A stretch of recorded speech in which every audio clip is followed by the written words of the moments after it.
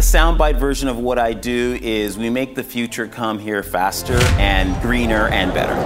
My dad always said, let the man finance your revolution, right? Don't try and go through it all on your own with all your own energy. Rely on other resources to help support you along the way. My particular piece of heaven is market transformation.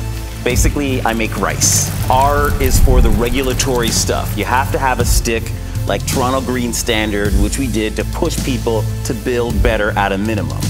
But you also need to have carrots, right? You need to build incentives. So the I is for incentives. And I did all these cool things like high performance new construction incentive, capacity building is the C in RICE. And that's really reaching out to the businesses and saying on a B2B level, how do I convince you to make a smarter, climate friendlier decision.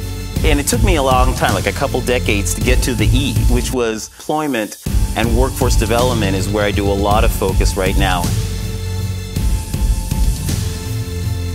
What I do for people that hire me is to either find funding so that they can do the programs that they want or design programs that allow them to build the net zero decarbonization projects that they'd like to do but can't while renewables gets all the love and clean tech gets all the imagination, energy efficiency is actually doing the job. Energy efficiency is the Intel inside every good decarbonization project.